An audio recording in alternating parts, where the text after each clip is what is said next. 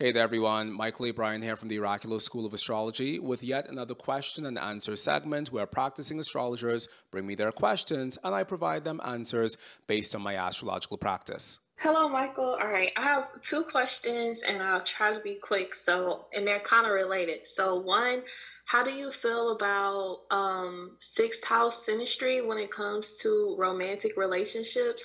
And also, how do you feel about do you find stelliums to be hard to navigate in synastry just because it's like so much concentrated um just you know concent- i don't want to use the word energy because i know you don't like that but because it's so much like concentrated astrological placements in one area. Great question great question. And i listened to you try not to use the word energy. And I knew that the word energy was on the tip of your tongue, but I listened to you try not to use it. And I'm very grateful that you offered that attempt. Now, the question is how do I feel about the sixth house from the perspective of synastry? The sixth house within our natal chart is a house of stress and sickness. When we find ourselves in our sixth house, we are overstressing ourselves out and probably also making ourselves sick in the process. When we find our partner in our sixth house, our partner is probably overstressing us out and making us sick in the process.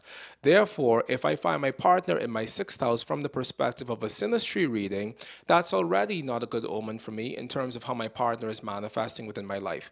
Because either my partner is singularly creating far too much stress in my life than is necessary, or I am just hardwired to hold myself in a state of deep stress and anxiety in relationship to my intimate romantic connections. So that's how I feel about having the partner in the sixth house. If I have me and my partner in my sixth house, then heaven help us all because I'm stressing out over me, but I'm also stressing out over the marriage, and it's a very stressful thing to be in. And the two of us are like the blind leading the blind in this world of stress. Now, once again, everything we say has to be corroborated by 10 other things. I know that that number keeps on going up, but it's going up by reason. So earlier I said three things and I said five things. Now I'm saying 10 other things. Everything that we say has to be corroborated by at least 10 other things in the chart before we speak about it definitively. Because if we're good astrologers, we should be able to find 10 other things to corroborate anything that we're going to say at all about the one thing that we want to talk about. So, there's that. However, in general, when a person is having the ruler of the seventh house in their sixth house, it's a problem.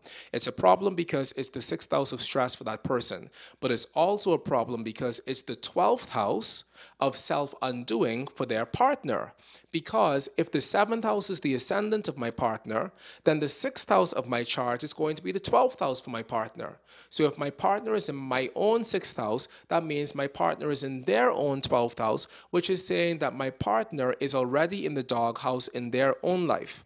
Very often, when a person has their partner in their own sixth house, that can indicate that their partner has addictive tendencies, which quite often is manifesting as their partner having specific substance abuse problems or specific addictions to certain substances.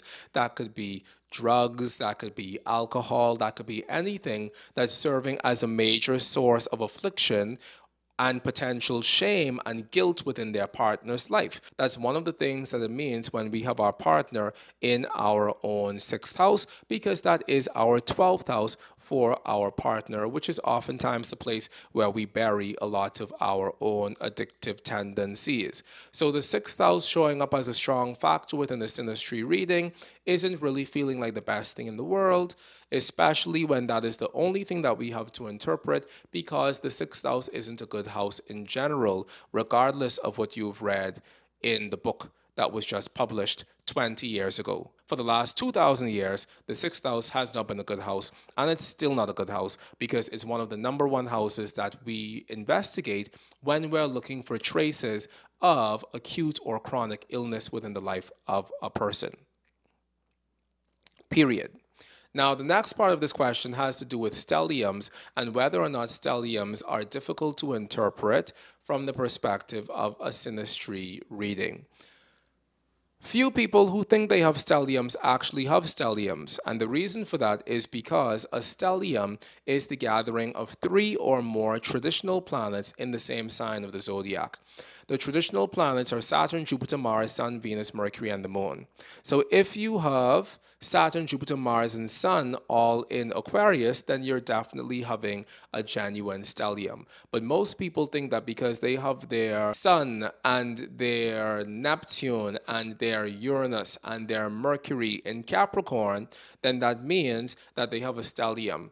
But you can't include Uranus, Neptune, and Pluto into any stellium structure because we don't own Uranus, Neptune, and Pluto in a personal way, in the same way as we own the seven classical planets based on their ability to be rulers of specific houses within our charts. Now, be that as it may, whenever there is a stellium or wherever there's a concentration, concentration is another word that you could have used instead of energy, but whenever there's a concentration of an influence within a particular sign of the zodiac, because we have more than three classical planets within that specific sign of the zodiac, then the things that we associate with that sign most definitely do manifest more fully within the life of that person, but also the things that we associate with that house most definitely do manifest more fully within the life of that person. So, we have ways of describing a person who is having a confluence of planets in Aquarius. And if you want to know how I describe Aquarius, you can pick up a copy of my book, which is Mastering Traditional Astrology A Depth Beginning in the Celestial Art, to find out all about how to talk about the signs of the zodiac, but hopefully also to read the chapter before that, in which I say all the reasons why we shouldn't really be centralizing the signs of the zodiac. It's a very good book, and those are two very good chapters. So we can definitely talk about that person from a psychological perspective as having more of that sign manifesting within their soul and psyche, but it's also going to come up very strongly in relationship to that house where that person is located. Now, what that has to do with in the context of a synastry reading, it doesn't necessarily have any direct implication in the context of a synastry reading because truthfully, good synastry looks like interpreting my chart fully and interpreting my partner's chart fully and seeing how much places of similarity and how many places of contradiction exist within those two interpretations. That is how to practice good synastry. Sure, you could also cast the composite chart to see what these two people's chart look like when you bring those two charts together and make one chart out of them. But the best type of synastry because it's the best type of astrology in general, will always be to fully assess one person's natal chart as well as what their destiny is in this lifetime as it relates to love, and to fully assess the other person's natal chart and what their destiny is in this lifetime in relationship to love.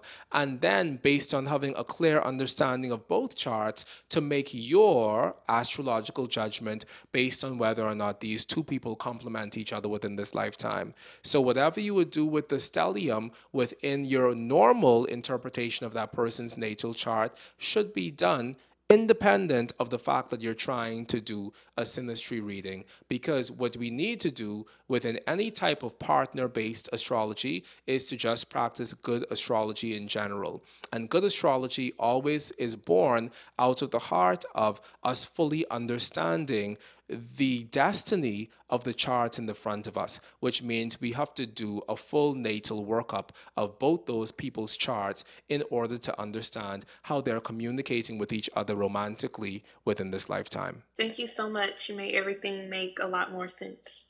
You're very, very, very welcome. That's my superpower. If you're enjoying these Q&A segments and you'd like to work with either myself or an OSA certified astrologer, then by all means check out our website where you can book yourself a high quality astrological consultation today. Also, I answer many of these questions and more in my book Mastering Traditional Astrology: A Depth of Beginning in the Celestial Art, which you can buy a copy of on amazon.com.